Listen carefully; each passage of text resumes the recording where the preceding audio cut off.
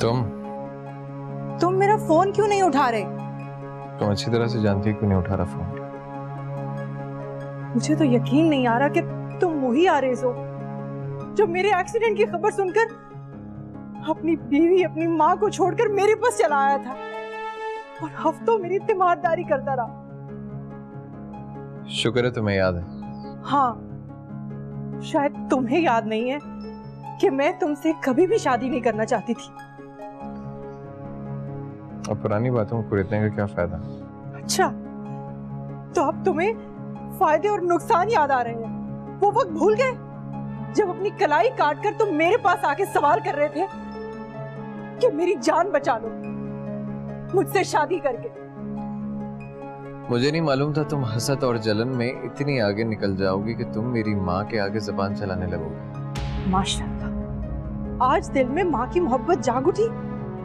और वो दिन भूल गए जब नशे की हालत में अपना घर छोड़कर चले गए थे और मुझसे कह रहे थे कि मेरी माँ ने मुझे क्रेडिट कार्ड की तरह यूज़ किया है। हारून अंकल के आगे मुझे बेच दिया है। और वो मैं ही थी जो तुम्हें तुम्हारे घर लेकर गई थी। तुम्हारी माँ से तुम्हें माफ़ी मंगवाई थी। हाँ मैं गलत था उस वक्त। हाँ अरेज तुम गलत थे और आज भी गलत हो। तुमने कभी भी मुझसे मोहब्बत नहीं की। एक बच्चे की इन्फेचुएशन थी। समझते हो ना इन्फेचुएशन बच्चे की मोहब्बत का धोखा।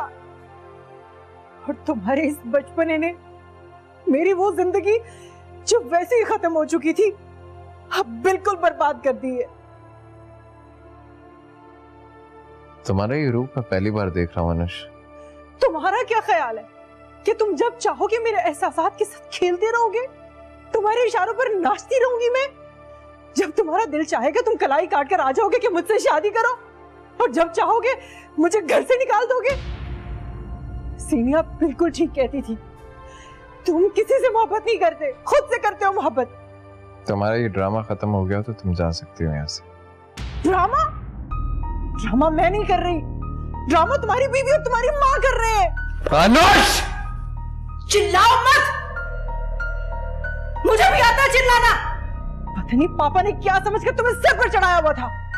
अभी और इसी वक्त इस घर से बाहर निकल जाओ। जा रही हूँ मैं। नहीं रुक रही यहाँ पर। और मर नहीं जाऊँगी मैं तुम्हारे बगैर।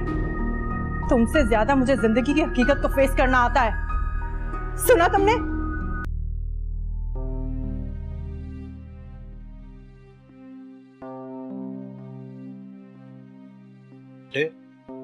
हारिस ने क्या कहा? हारिस के पास कहने के लिए कुछ था ही नहीं जो वो कहता। लेकिन अपने किए पे शर्मिंदा तो होगा। वो एक बच्चा है। अंदर से वो एक बच्चा ही है। एक ऐसा बच्चा जो एक खिलौना पाने के लिए ज़मीन और आसमान एक कर देता है। और वही खिलौना पाने के बाद वो उसके लिए बेकीमत हो जाता है। लेकिन तुम कोई खिलौना नहीं हो। तुम्हारी ज़िंदगी का सवाल है। वो तुम्हारा वाहिद सहारा है। मुझे क्या सहारा देगा? एक बच्चा मुझे क्या सहारा देगा? मैं ठीक हूँ। कुछ नहीं हुआ मुझे। सब ठीक हो जाएगा। आप परेशान मत हो।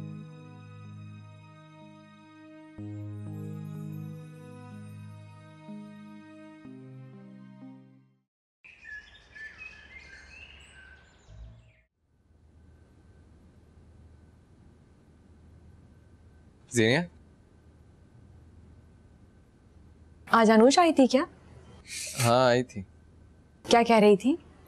कुछ खास नहीं ये देखो मैं बच्चों के कुछ पोस्टर्स लेकर आया कमरे में लगाने के लिए।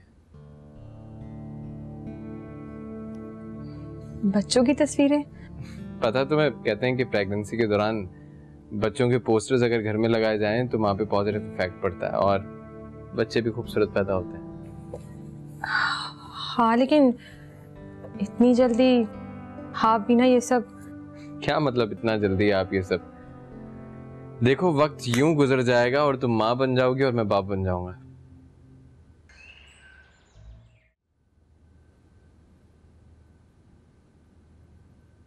जीनिया? आज अनुष आई थी क्या? हाँ आई थी। क्या कह रही थी? कुछ खास नहीं ये देखो मैं बच्चों के कुछ पोस्टर्स लेकर आया कमरे में लगाने के लिए। बच्चों की तस्वीरें? पता तुम्हें कहते हैं कि प्रेगनेंसी के दौरान बच्चों के पोस्टर्स अगर घर में लगाए जाएँ तो वहाँ पे पॉजिटिव इफ़ेक्ट पड़ता है और बच्चे भी खूबसूरत पैदा होते हैं। हाँ लेकिन इतनी जल्दी आप भी ना ये सब क्या मतलब इतना जल्दी आप ये सब देखो, वक्त यूँ गुजर जाएगा और तुम माँ बन जाओगी और मैं बाप बन जाऊँगा। खुशियाँ आने वाली है हमारे घर में। चलो, लगाते हैं इन्हें। सोचो मत, मेरी मदद करो। आ जाओ। आ जाओ। हेलो पापा। हाउ आर यू पापा आई एम टोटली फाइन अच्छा मुझे आपसे ना एक काम था। अच्छा पहले प्रॉमिस करें आप किसी से इसके बारे में ज़िक्र नहीं करेंगे। अच्छा पापा, आपके फ्रेंड्स की एक मार्केटिंग फर्म है ना यहाँ पे?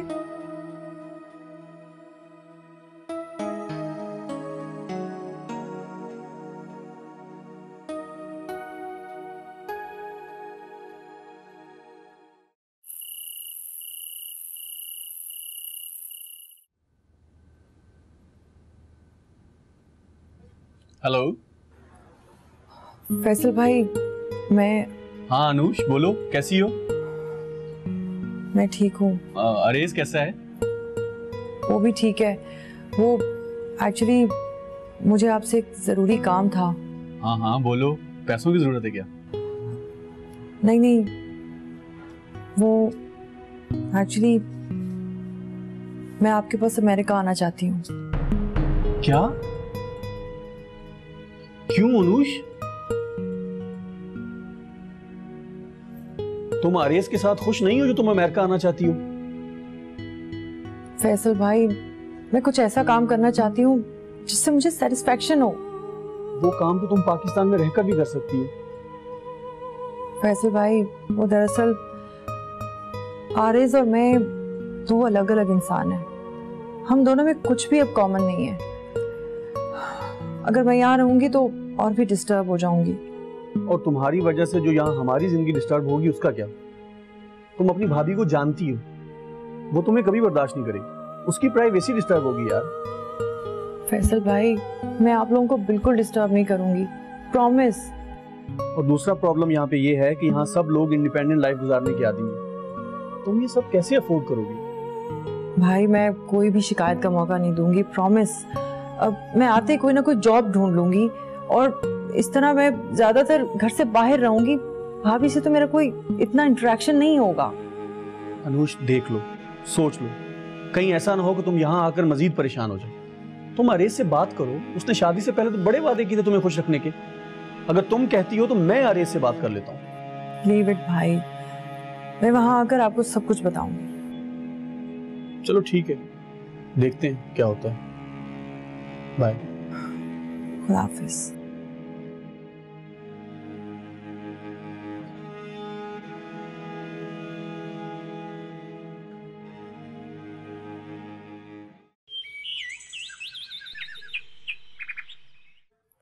ठीक है ठीक है।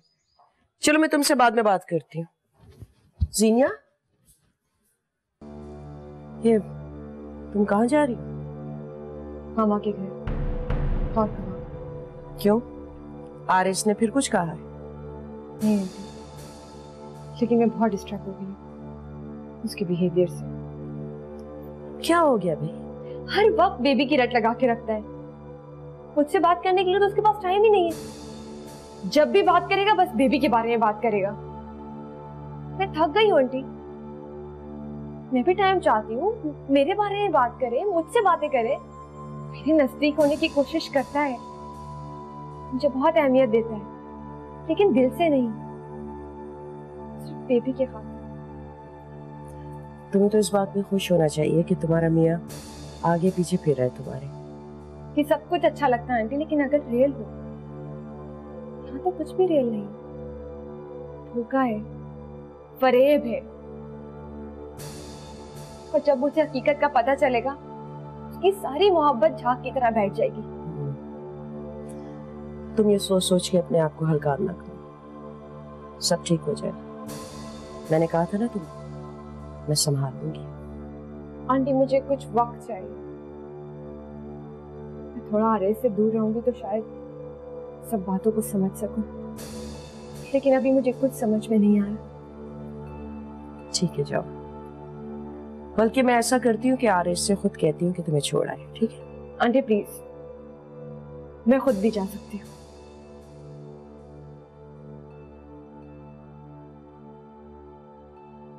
क्या हो गया सीनिया को? कैसे ठीक करूँ मैं घर के हालात? अरे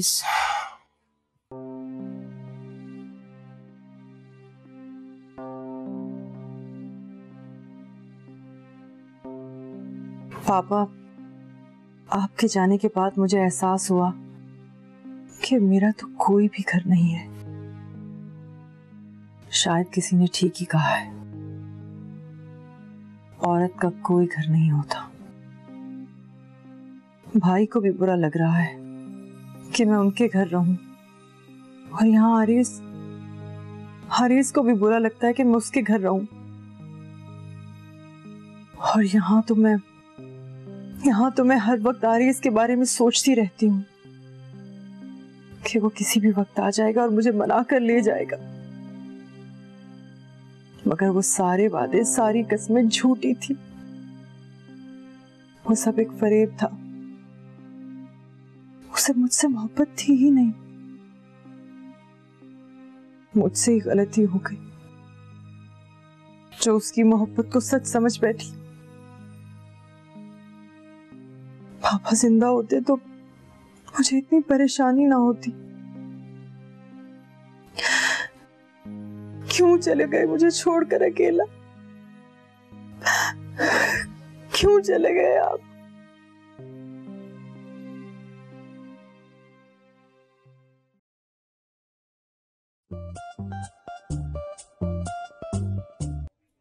हेलो असद साहब बात कर रहे हैं।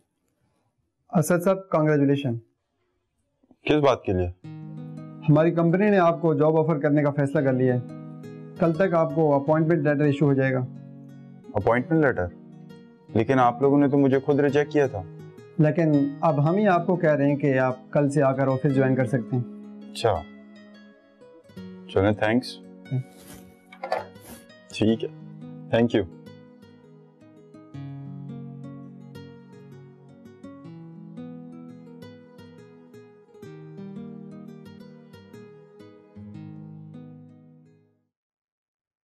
शमीम बेगम आज जीनिया की पसंद की डिशें बनवाए।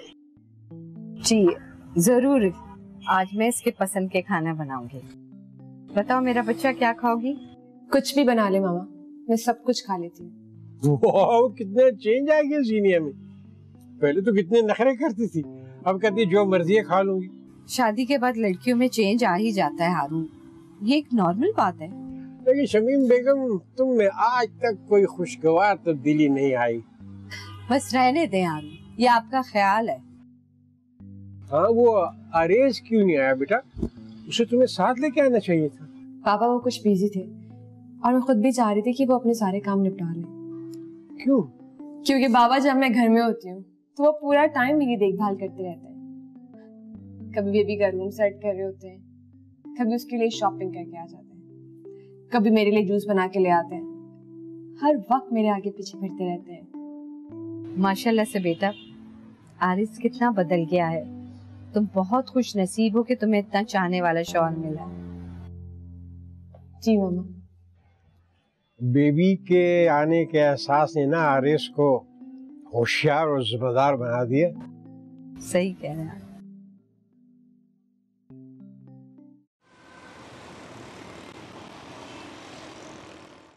से एक बात है सारा। तुम टी बैग वाली चाय बहुत अच्छी बनाती टी बैग वाली। आओ से चाय पियो? नहीं मूड नहीं है। हो और वही बरखुदार क्या मसरूफियात हैं आजकल? आजकल तो कुछ खास नहीं लेकिन कल से बिज़ी हो जाऊँगा। क्यों? वो कैसे? फिर से यूनिवर्सिटी ज्वाइन कर रहे हो? एक गुड न्यूज़ है आप लोगों के लिए। वैसे गुड न्यूज़ है तो जल्दी बताओ। वैसे भी आजकल अच्छी खबरें ना कम सुनने को मिलती है। बता दूँ? कम ऑन अब बता भी दो। क्या बच्चों की तरह पहलियाँ भिजवा रहे हो? पापा मेरी जॉब हो गई है। वेरी गुड क्या वाकई?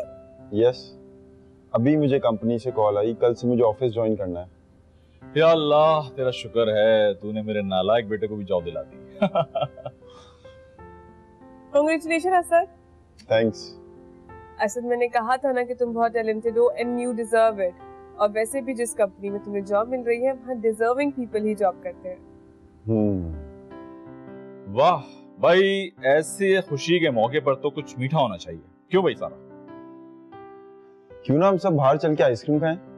Good idea that's a wonderful idea ऐसा करते हैं कि तुम्हारी मॉम को भी साथ ले लेते हैं। सारा? जाके आंटी को- अभी मैं बुला के लाई आंटी को मैं तैयार भी होके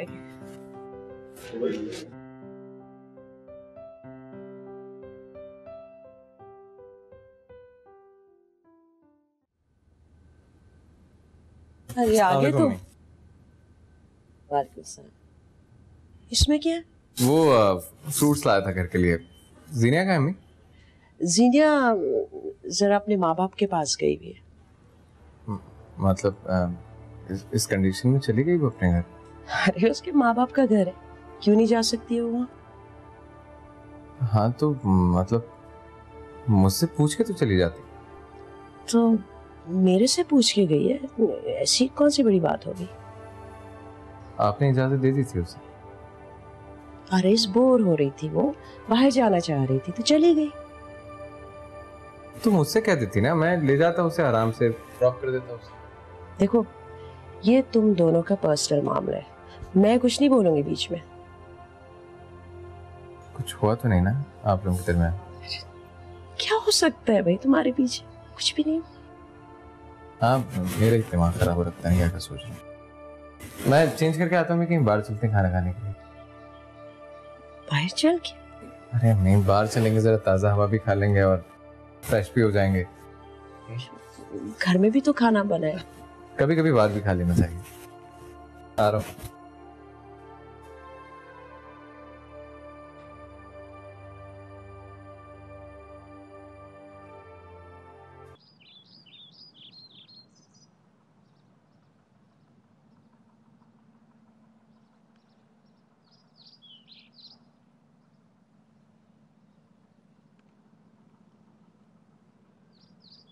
अरे बाबा आपने ये जहमत क्यों की? मैं खुद ही बना लेती। क्यों शर्मिंदा करती हो बेटा? ये तो मेरा फ़र्ज़ है मैं तुम्हारा खादिम हूँ। ऐसी बातें मत करें। अगर आप ना होते तो मैं तो शायद मर ही जाती। मर जाती? मरे तुम्हारे दुश्मन बेटा।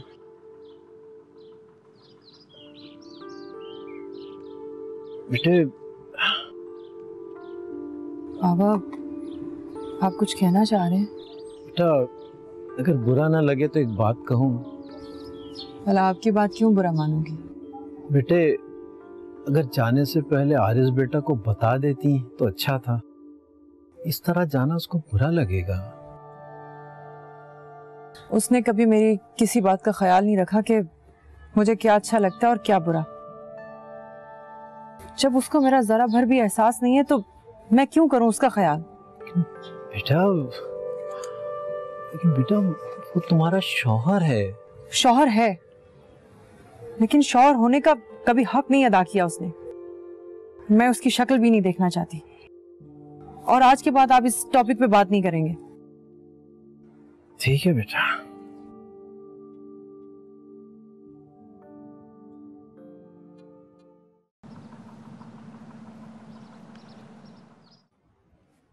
फैसल मैं ये क्या सुन रही हूँ? तुम्हारी बहन यहाँ क्यों आ रही है?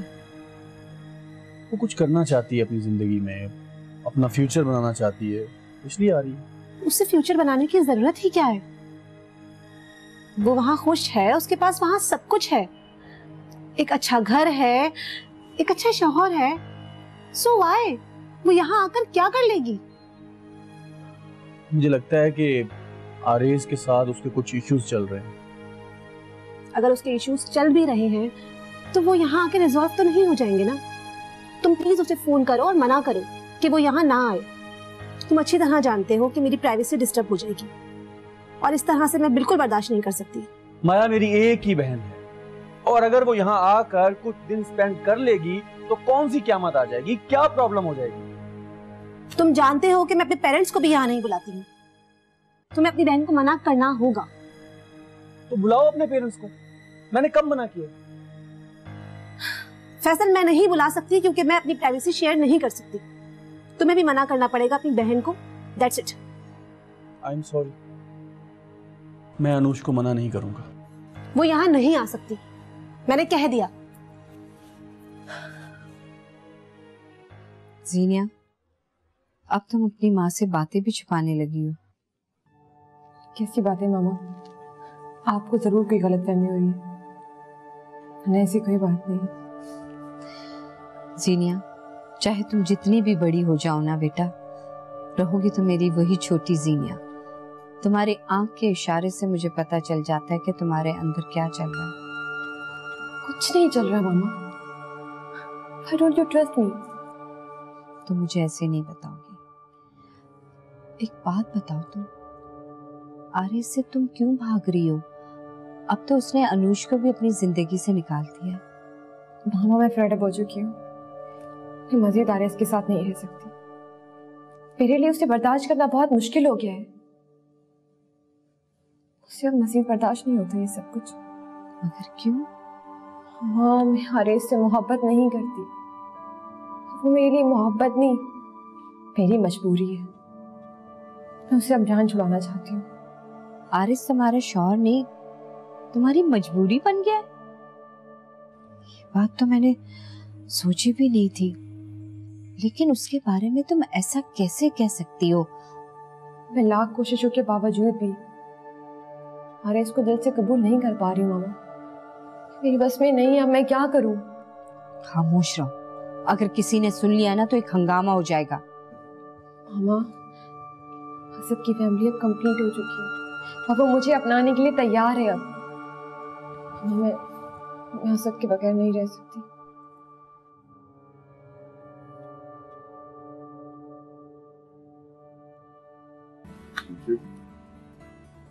आपको हमें पहले बता देना चाहिए था कि आप हमारे सीनियर बॉस आफ्ताब साहब के रिलेटिव हैं। क्या मतलब मैं समझा नहीं? मतलब यह है कि अगर आप हमें पहले बता देते तो हम आपको इस तरीके से रिजेक्ट नहीं करते। और हमें आफ्ताब साहब के सामने शर्मिंदगी नहीं उठानी पड़ती। दरअसल मैंने ज़रूरी नहीं समझा। क्योंकि मुझे अपनी सलाहियतों पर पूरा यकीन है। आप भी हद करते हैं। लोग ऐसी बड़ी शख्सियात को अपना रिलेटिव बनाकर बड़े बड़े काम निकलवा लेते हैं। और आप उनके सके भांजे होकर भी ये बात छुपा के हैरत है आप पर। दरअसल ये सब मुझे बहुत ऑकवर्ड लगता है। हमने आपके डॉक्यूमेंट्स को रीअसेस किए। आप डिजर्विंग कैंडिडेट हैं। ये रहा आपका अपॉइंटमेंट लेटर हमने आपको मार्केटिंग मैनेजर की पोस्ट पर हायर किया thank you thank you so much thank you please आप आफ्ताब साहब को कॉल करके बता दीजिएगा कि मुझे अपॉइंट कर लिए गए। बिल्कुल थैंक यू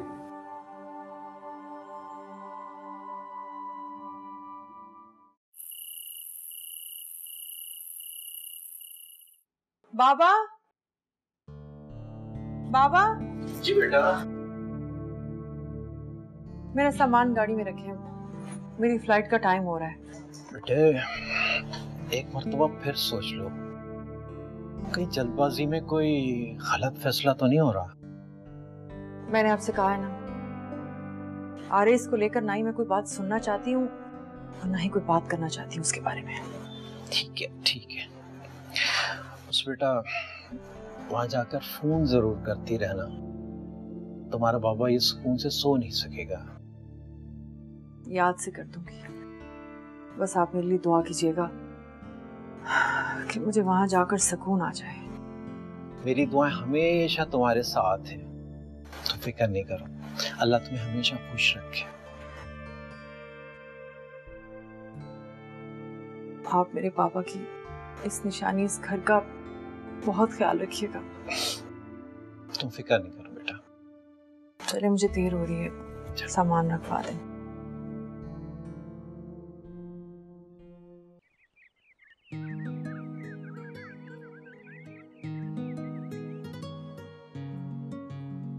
अस्सलाम वालेकुम वालेकुम अस्सलाम हाँ बेटे कैसे जी ठीक। आप लोग कह रहे थे बिल्कुल। ऐसी भी क्या इमरजेंसी आ गई जो आप सुबह सुबह यहाँ आ गए?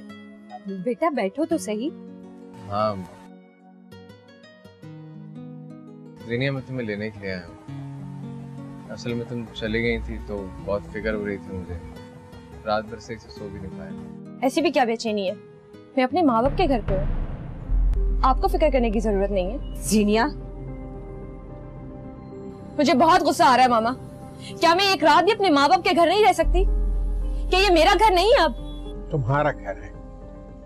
लेकिन आरएस का घर तुम्हारा असल घर है क्योंकि शादी के बाद औरतों का असल घर उसके शौहर का घर होता है। तो मेरे ख्याल में कि तुम्हें आरएस के साथ चला जाना चाहिए। वो तुम्हें लेके बड़ा सेंसिटिव हो रहा है। ये मुझे लेकर नहीं।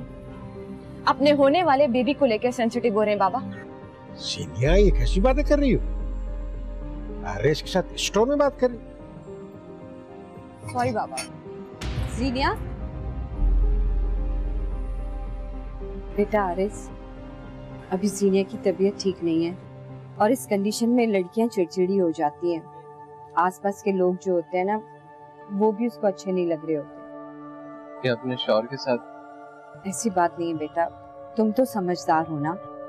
मैं उसको समझा के तुम्हारे पास ले आऊँगी। शायद यही तुम दोनों के लिए बेहतर है। मुझे भी कोई साइकोटिक इशू लगता है? और तो इस मसले को ज़्यादा बेहतर जानती। ठीक है जैसे आप लोगों मर्ज़ी।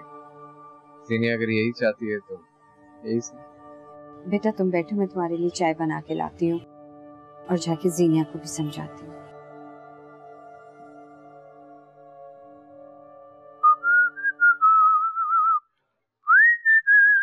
कॉन्ग्रेचुलेशन पापा।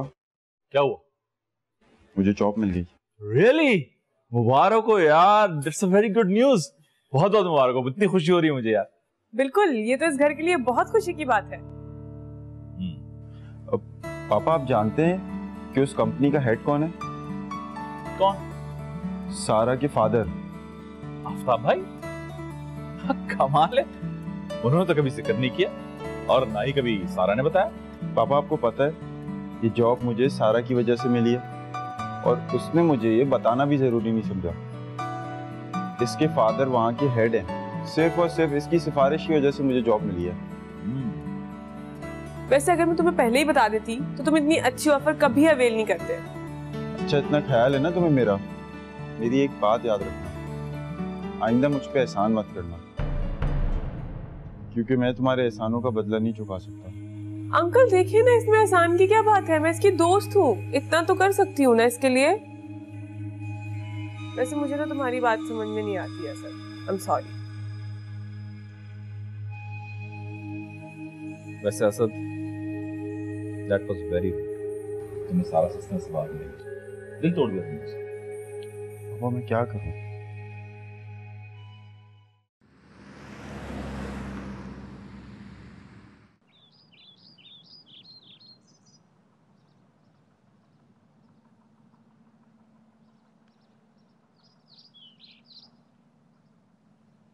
ये लीजिए थैंक यू तुमने जीनिया को रोक के अच्छा नहीं किया। बड़ी मुश्किल से उनके ताल्लुक बेहतर हो रहे। मैंने आपको पहले भी बताया था हारून कि प्रेगनेंसी में लड़कियाँ चिड़चिड़ी हो जाती हैं। अगर हमारी जीनिया आरे से स्पेस चाह रही है तो उसके साथ हम ज़बरदस्ती क्यों करें? वो तो ठीक है लेकिन आरे जीनिया की बातों से बहुत डिस्टर्ब हो गया था। पता नहीं उसने इफ़त से जाके क्या कहा होगा। कुछ नहीं कहा होगा। आरे जीनिया को बहुत चाहता आप टेंशन ना लें। सब ठीक हो जाएगा।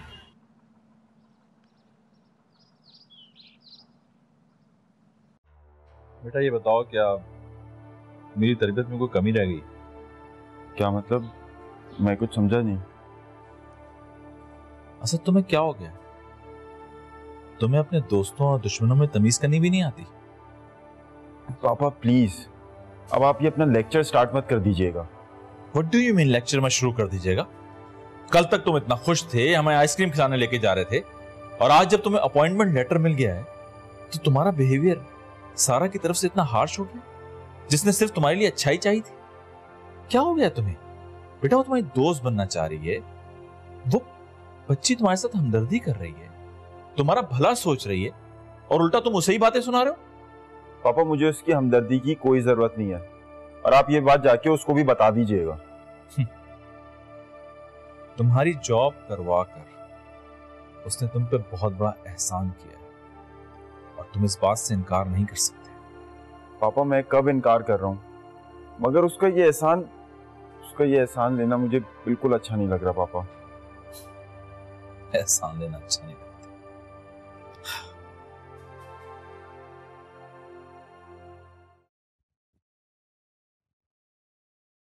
अमी मेरी गैर मौजूदगी में आपके और जीने की कोई बात हुई थी क्या? तुम्हारी गैर मौजूदगी में? नहीं तो बेटा। क्यों? क्या हुआ है? नहीं आ, मतलब कुछ हुआ था आप लोगों के दरमियान नहीं तो बेटा अब तो मैं उसका तुमसे ज़्यादा ख्याल रखती हूँ। तुम्हारे बच्चे की माँ जो बनने वाली हो तो मैं क्यों उसको ऐसे वैसा कहूँगी? हाँ मैं भी यही सोच रहा था। उसने कुछ कहा है तुमसे? क्या कहेगी अम्मी? लेने गया मैं उससे तो आने के लिए तैयार नहीं इतना गुस्सा हो रही थी। खाम खामे मुझ पे। अपने माँ बाप के सामने इतना ऑकवर्ड फील कराया उसने बता नहीं सकता क्या हुआ वहाँ पे। मैं तो खुद उसके रवैये पे परेशान और हैरान हो रही हूँ। हाँ वाकई। समझ नहीं आ रहा। हाँ कुछ कुछ खाया आपने? नहीं तुम्हारा इंतज़ार कर रही थी। ठीक है मैं फिर फ्रेश होकर आता हूँ। कुछ खाते हैं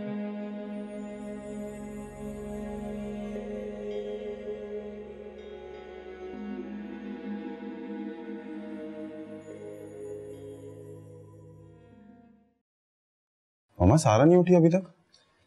सारा चली गई है। चली गई? कहाँ चली गई?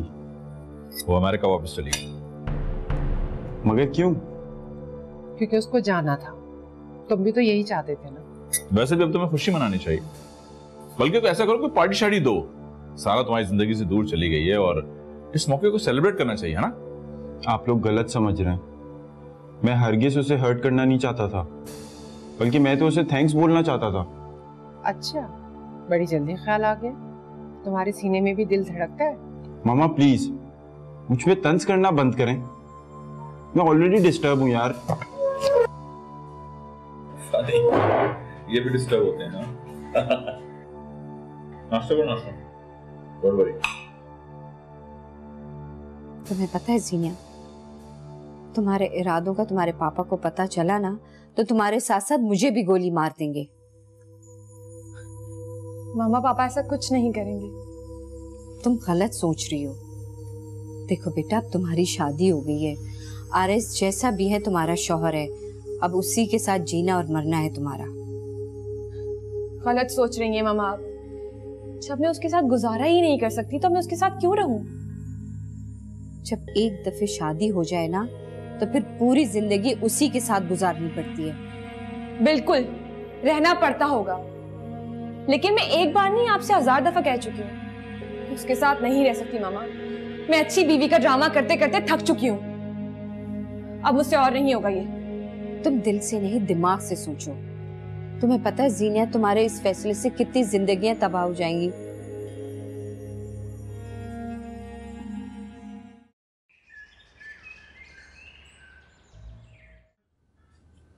अरे तु, तुम आ गई तुम्हारे बगैर आ रही बहुत डिस्टर्ब था।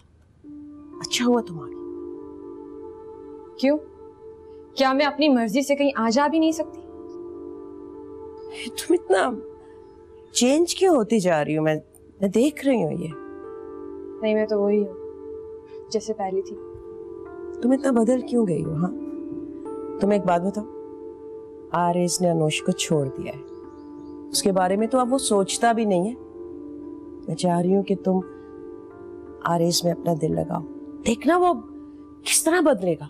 बदल जाएगा वो। जानती अरे तुम आ गई? अच्छा कि तुम आ गई वरना मैं तुम्हें लेने के लिए आ रहा था। तुम्हें मेरे बारे में सोचने के अलावा कोई और काम नहीं है क्या?